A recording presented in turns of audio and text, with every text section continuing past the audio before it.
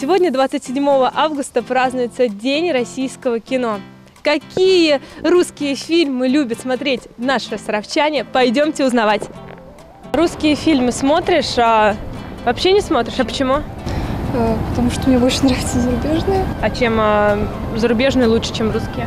У них какие-то более интересные сюжеты. Они не зациклены. У нас, знаете, в фильмах любят все преподнести так, на очень низком бытовом плане. Выставить народ такими бедными людьми, которые, не знаю, не могут получить полноценного удовольствия от жизни. Я вообще уже кроме спорта и музыки ничего не смотрю. Почему? Да, мне не интересно. В основном нет, но старые есть. А какие, например? Ну, Москва слезами старые фильмы. А почему они вам больше нравятся? Они более правдивые, что ли. Последние блокбастеры, которые показывали в кинотеатре России, посмотрели. Но есть другие фильмы, которые, конечно, лучше о добре. Я нахожу просто в интернете. Мне вот нравятся старинные художественные фильмы. Сейчас их нету, художественных фильмов посмотреть. Одно сериал идет. Стрельба, убийство, воровство. Я это не люблю. Мы люди пожилого возраста преклонного. Мы любим старинный, хороший художник. Вот как ты показывал на этой неделе. Это «Королев без колонки». Отличный фильм, правда художественный? Вот.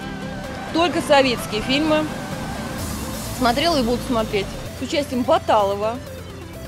Да. Инна Макарова.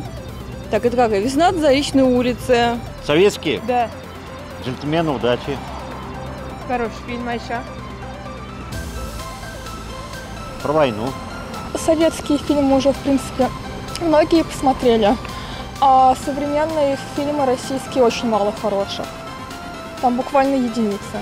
Почитайте больше русские, чем э, Да. зарубежные. Да, они добрые, хорошие фильмы. А чем там доброта заключается? В чем? Ну, любви к человеку, другому, помощь оказывают. Ну, В общем, нравится все. Спасибо большое. Вот так вот. Помощь, доброта, любовь. Вот в чем смысл советского кино. Смотрите, друзья, советское кино и радуйтесь вместе с нами. Для вас опрос про фильмы проводили Ирина Вышегородцева и Артемий Глазков.